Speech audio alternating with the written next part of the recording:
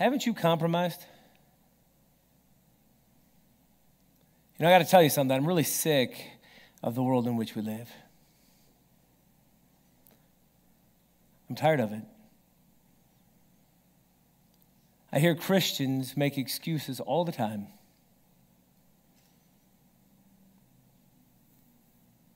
They live together outside of marriage, they call themselves Christians.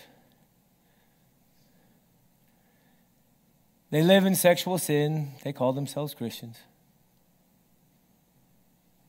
They curse and they swear and they pay money for films where there's blasphemy.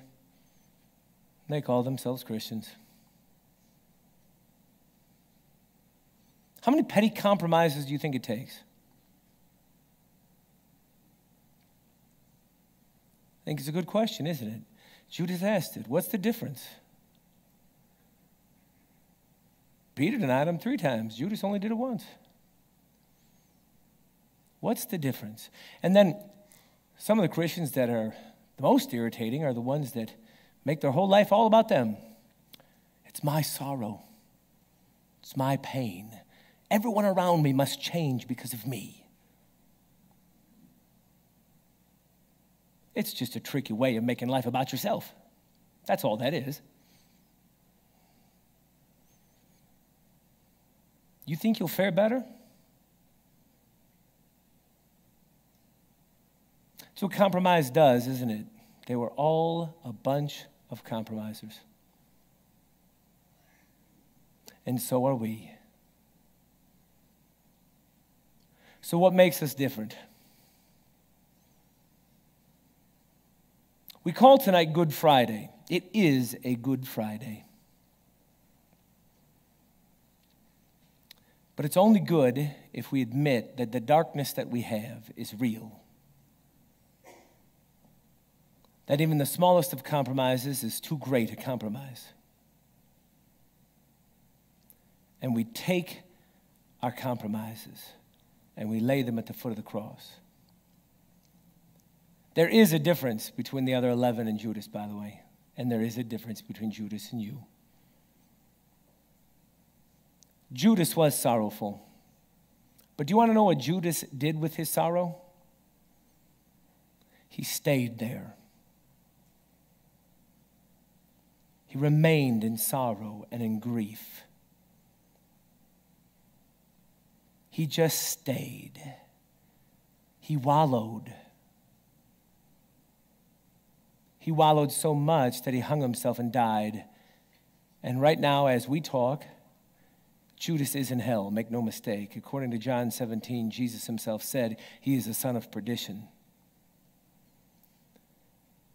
Judas stayed in his sin.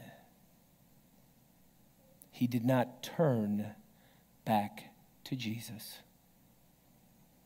And that makes all the difference in the world, doesn't it? Why is Peter saved? Because Peter turned back to Jesus. Why are the other 10 saved? Because they turned back to Jesus. That's why. This is a Good Friday because your darkness, my darkness, that is very real was laid on the shoulders of Jesus Christ. And he took it. All of your petty compromises, all of my petty, prideful compromises put on the shoulders of Jesus Christ, all of our judgmentalism, all of our Pharisaism all of our envy and greed and self righteousness and cruelty, all of our us and them, all of it, he put on his shoulders. So here's why it's a good Friday admit your stuff. Stop rationalizing your stuff. Stop making excuses for your compromises and turn to Him. be forgiven. Let the sins of others that have harmed you, forgive them. Put those on Jesus. Put it all on Him because He took it all for us. What's the difference between us and Judas? Jesus. Jesus died for Judas too. Judas didn't go back to him. And that made all the difference in the world. Because Jesus died for you. And Jesus died for me. And Jesus forgives us. All we need to do is trust in this night that Jesus Christ took our sin and our shame. So as we leave tonight, leave reflecting upon the goodness of this night.